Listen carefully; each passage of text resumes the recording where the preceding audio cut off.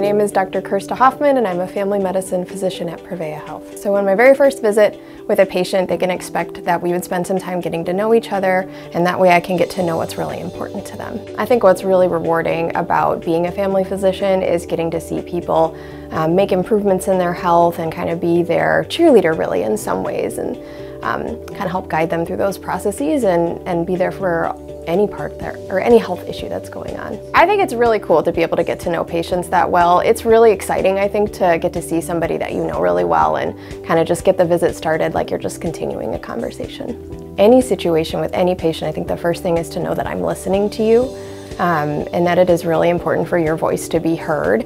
And I think that that's a really important thing to establishing trust and giving them the options that they can pick from.